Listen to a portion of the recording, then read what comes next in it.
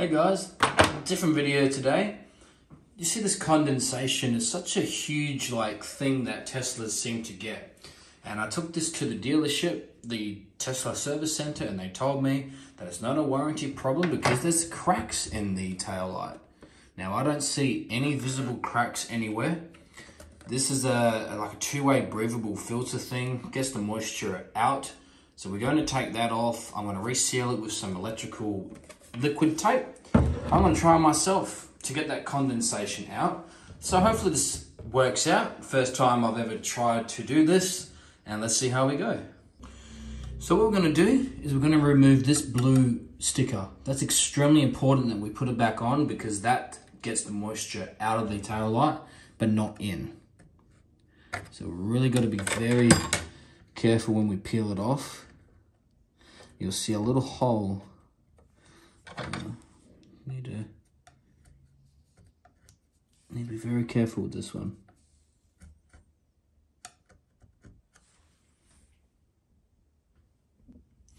Alright guys, so I've peeled it just so we can see the hole. Now we're going to put an air, uh, hair dryer in there.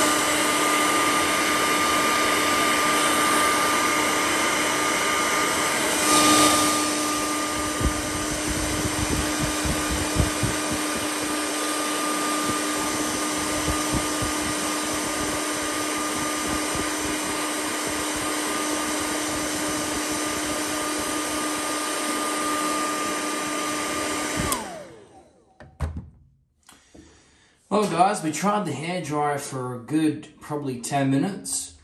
You can see a little bit of condensation in the top part, one little dot here. Um, so what we're going to do is we're going to try and put it in the oven uh, for a low heat, about 50 degrees Celsius, because you don't want to obviously melt the plastic. So let's see what results we get from that.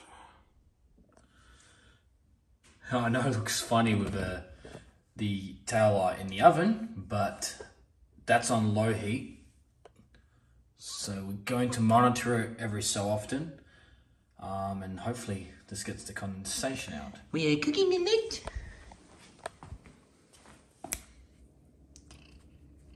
Good boy.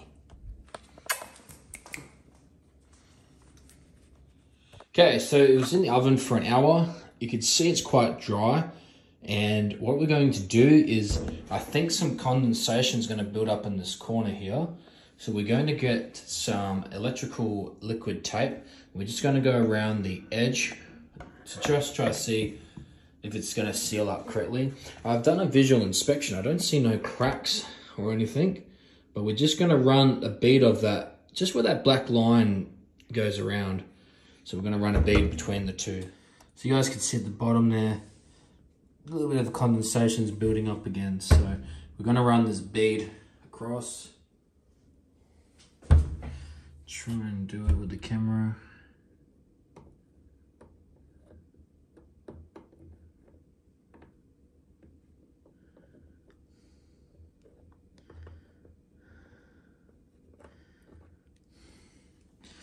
So I think that's coming from this corner of the light. So uh, that's what we're going to do. So we're just going to put this liquid stuff on.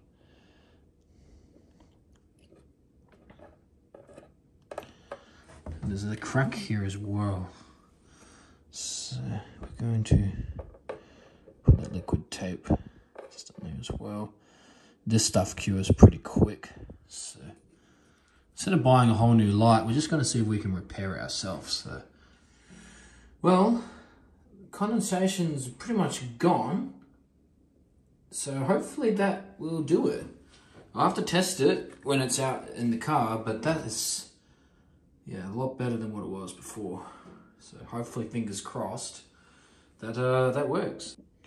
We need to make sure that we seal this, uh, this hole back up. So we're gonna use the liquid tape. Okay. Stuff we're using. Just gonna put a little drop, not much. Ooh, too much. it's very important that that's is sealed up because that works as getting the moisture out of the tail light. So we need to make sure that seal's on. Let that set for a bit and then hopefully this has worked well. So the signs look pretty good. I'm not seeing any moisture in there. So hopefully it stays like that. Now, it's going to be raining soon, so they'll obviously test it, but it, it's looking good. So a lot better than before.